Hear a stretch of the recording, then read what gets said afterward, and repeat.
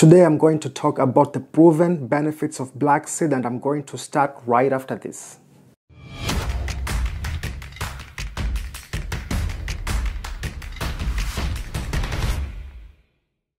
What is going on? My name is Abdul Bashawuth and welcome to another video and if this is your first time here, consider subscribing and clicking the bell so that you don't miss anything. If you do a Google search or even do a YouTube search, you will see a bunch of information on countless benefits of black seed. In this video, I will be taking a closer look at the benefits of this magnificent supplement in light of available clinical studies.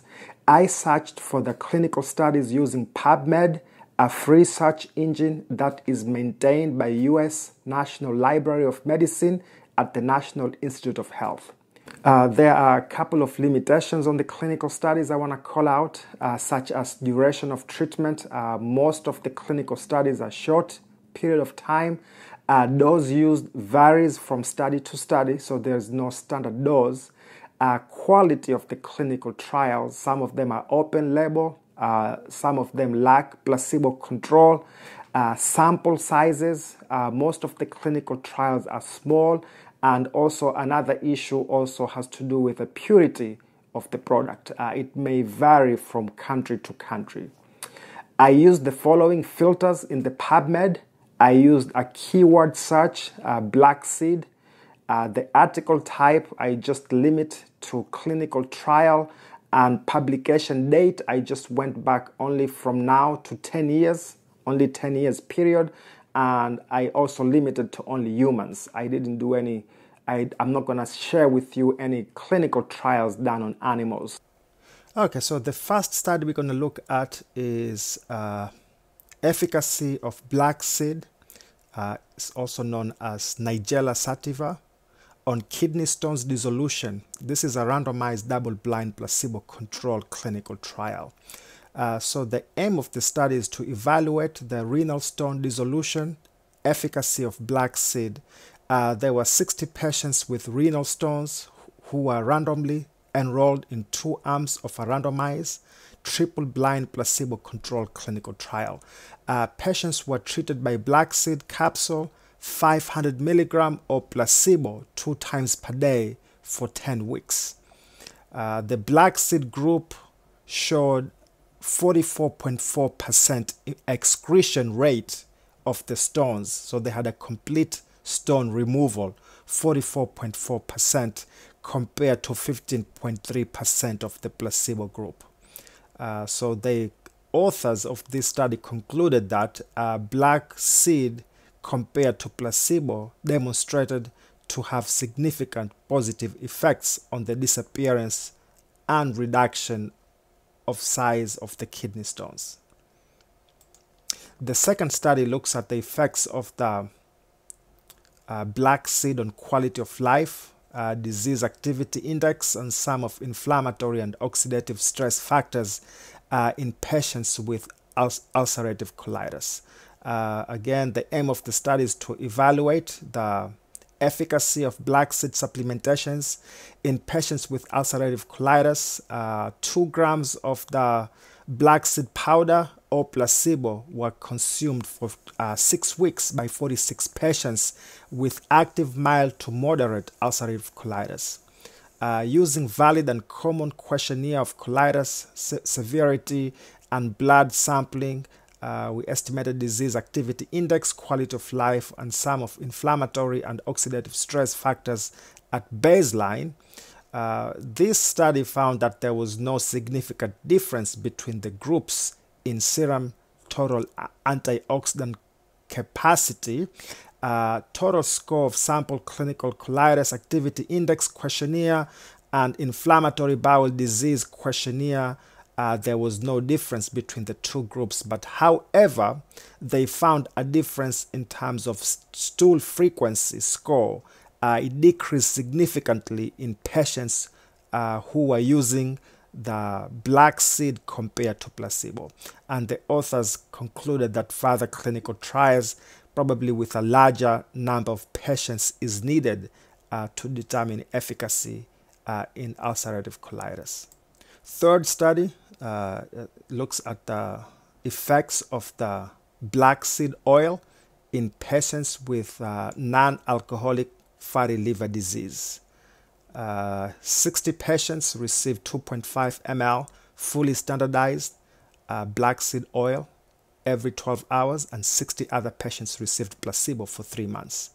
Uh, no side effects were experienced by any patients in the study and authors concluded that uh, black seed oil to be effective in improving uh, liver uh, steatosis and injury and blood levels of uh, triglycerides and LDL and HDL in patients with uh, non-alcoholic fatty liver disease. The next study looks at the effects of a combination of uh, black seed and Vitex agnus castus with citalopram. Vitex agnus castus is another supplement which is usually uh, used in the premenstrual syndrome. And citalopram is an antidepressant drug which can be used for uh, treating hot flashes in menopausal women. So the aim of the study is to evaluate the efficacy of um, intervention consisting of a combination of the black seed and the Vitex with citalopram in, in the control of, of hot flashes in healthy menopausal women. It's an eight-week double-blind randomized placebo-controlled study uh, was performed among 46 women aged 40 to 60 years experiencing an average of four hot flashes per day at the end of the eight-week treatment period, analysis of covariance uh, demonstrated the superiority of the herbal combination with citalopram over placebo and citalopram. So basically, the the, the study was a two-group, two-arm. Uh, one arm received citalopram plus placebo, and the second arm received citalopram plus the active uh, drugs that we are studying, which is the black seed and the Vitex. And it shows that the group which had the citalopram plus Vitex plus black seed performed better than the group uh, with citalopram with placebo. Uh, here they said based on the results, the addition of a combination of the black seed and the Vitex uh, to the citalopram may be a potential clinical application for improving uh, therapeutic outcomes, but large randomized clinical trials are needed uh, to further uh, for further investigation of these symptoms, basically. Uh, this uh, next study looks at the investigation of the effect of the black seed oil on pain in osteoarthritis, uh, geriatric patients. These are older patients. Uh, aim of the study is to investigate the analgesic effect of black seed oil in individuals with knee pain. Uh, this study has shown that the pain relieving properties of black cumin oil, which is another name for black seed oil, is effective on geriatric individuals living with knee pain. Uh, this study, I mentioned, is, is a small study, had only 30 patients who were in the active group and 30 patients who received who are the control group or who received the placebo. This other study looks at the effects of the black seed extract extract for hypertension in elderly. This is a double-blind randomized controlled trial. Uh, here it says the aim of the study is to determine the effect of the black seed extract uh, to systolic blood pressure and diastolic blood pressure in the elderly patients with hypertension. It's a double-blind randomized controlled trial.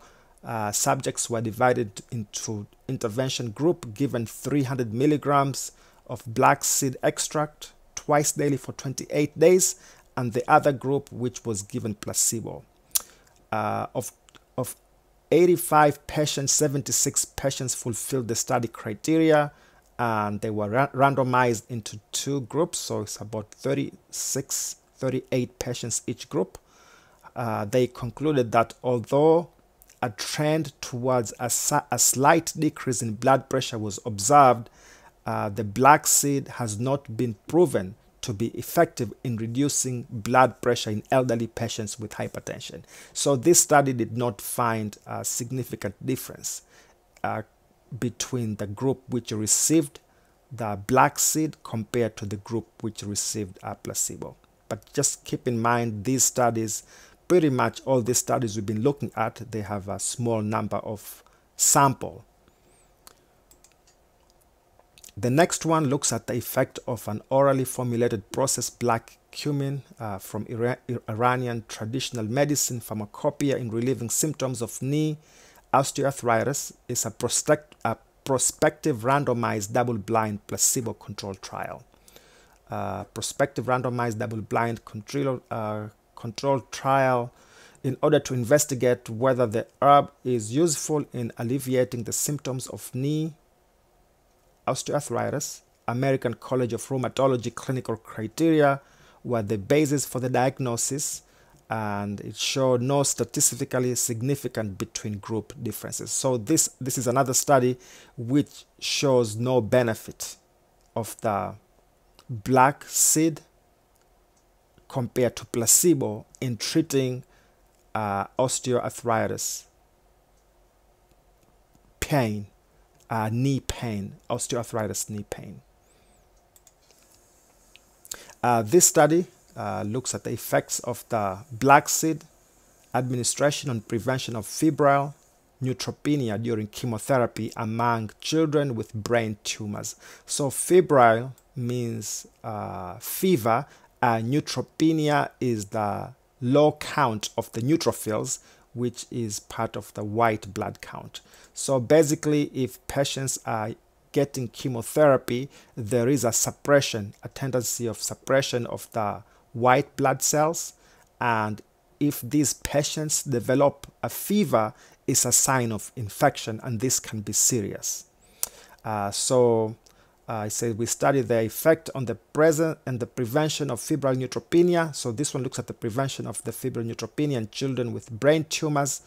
80 children were studied uh, and they concluded that black seed showed a decrease in incidence of febrile neutropenia in children with brain tumors with shortening of subsequent uh, length of stay in the hospital which may improve their outcome and therapy and thereby quality of life but large scale large scale studies are needed to further evaluate uh, the seed's potential uh, this study looks at the safety and efficacy of polyherbal formulation for the management of uh, dyslipidemia and hyperglycemia, which is the high uh, glucose, in patients with advanced stage 2 diabetes. So this is a concoction of many natural products, including black seed, to evaluate the safety and efficacy of the polyherbal formulation consisting of these all these aloe vera,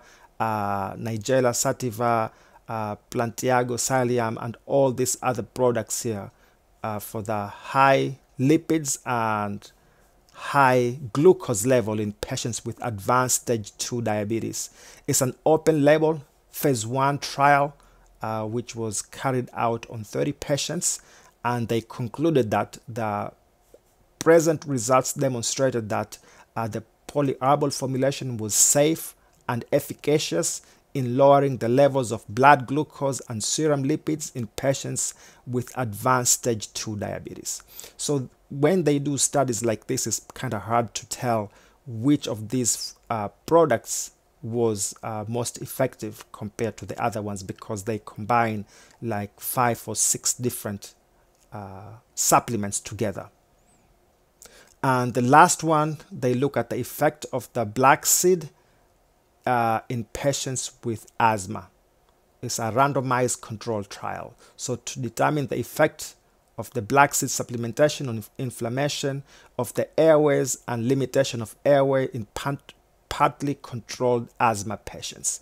Uh, patients were divided into three groups. A control group consisted of 24 patients uh, received the placebo, while uh, second group one and group two who received the active drug, which is the black seed, uh, 26 patients each received 1 and 2 grams per day of the black seed, respectively, for three months, along with maintenance inhaled therapy. and they concluded that the group that received uh, black seed supplementation with inhaled maintenance therapy improved some measures of pulmonary function and inflammation in partly controlled asthma. So there is more information here, but including a significant increase in FEF 2575% and FEV1. I think I'm going to stop here today. So we looked at 10 clinical trials and probably I'll just do a part two or even part three if possible to look at more uh, clinical trials. If you enjoyed the video, consider subscribing and turn on notification. Be sure to share your experience below if you are using the black seed now or if you have used it in the past. Thank you so much for watching and I will see you soon.